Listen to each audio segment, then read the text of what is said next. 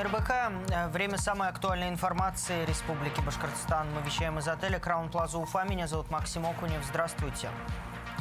Власти республики направят до конца этого и в 2022 году более 400 миллионов рублей на прокладку сетей ЖКХ для новых инфекционных госпиталей в Сибае и Туймазах.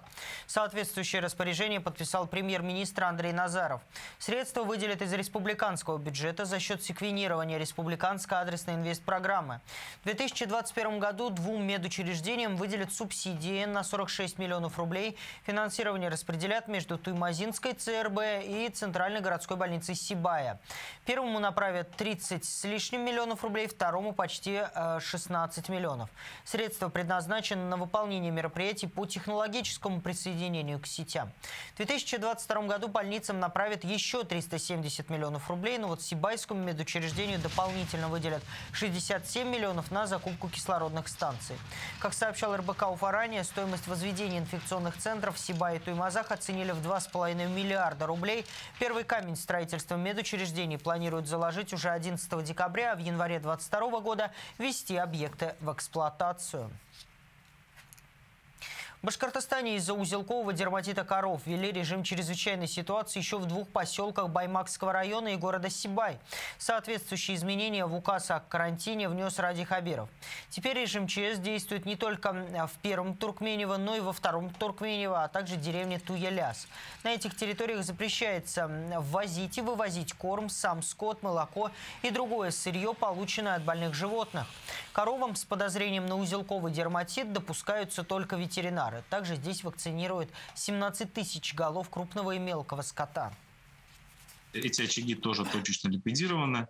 А, дезинфекция там проведена. А, ведется ежедневный мониторинг э, близлежащих населенных пунктов. В принципе, сегодня уже а, практически больше недели, как мы начали вакцинацию, то есть начинает формироваться иммунитет. И вот уже пятый пятые сутки не поступает новых сообщений о выявлении клинических признаков. Ну, то есть мы можем уже начинать говорить о том, что вакцина начинает работать и иммунитет у животных начинает сформироваться. Напомню, ранее в Минсельхозе Республики сообщали о том, что предприятиям, фермерским и личным подсобным хозяйствам, пострадавшим от птичьего гриппа и узелкового дерматита, выплатят порядка 120 миллионов рублей. Для этого власти республики обратятся в резервный фонд.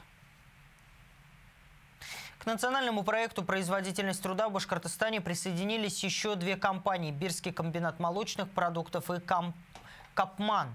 Теперь количество участников составляет 123 компании. Предприятия, включенные в нацпроект, имеют возможность бесплатно пользоваться поддержкой э, экспертов в сфере производительности труда при оптимизации процессов. Например, ограничивая количество перекуров или внедряя цифровое управление вместо ручного. Предусмотрено подспорье в виде льготного займа Федерального фонда развития промышленности от 50 до 300 миллионов рублей под 1% годовых сроком на 5 лет. Еще одним инструментом поддержки для предприятий является содействие в развитии их экспортного потенциала, в том числе по программе «Экспортный акселератор».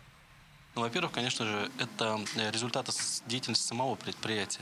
Это бережливое производство, это экономия, это, конечно же, финансовый, э, правильное использование финансовых результатов и получение нужного результата для э, предприятия. Это, конечно, конкурентоспособность предприятия в целом.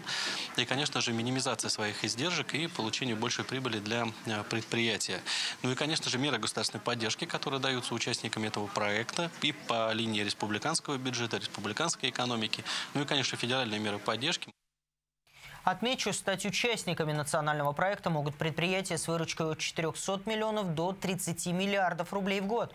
Кроме этого, компания должна входить в состав пяти базовых несырьевых отраслей экономики, среди которых обрабатывающее производство, сельское хозяйство, транспорт, строительство и ЖКХ. В Башкортостане впервые прошел антикоррупционный диктант. В нем приняли участие более 30 государственных и муниципальных служащих. Событие приурочено к Международному дню борьбы с коррупцией. Диктант включал в себя 40 заданий, на прохождение которых участнику давалось полчаса. При этом в списке были как общие вопросы по антикоррупционному законодательству, так и моделирующие практические ситуации, с помощью которых участник а, смог проверить свою компетентность в сфере противодействия коррупции. В связи с тем, что мы также проводим работу по в наших э, на нашей работе по данному направлению. Мы также можем своих государственных служащих знакомить с подобными вариантами а, тестирования, то есть проводить на работе подобные мероприятия, также работать с нашими подведомственными организациями в этом направлении. Разработчиками вопросов диктанта являются специалисты Департамента региональной безопасности противодействия коррупции Москвы, Академии имени Кутафина и РАНХИКС.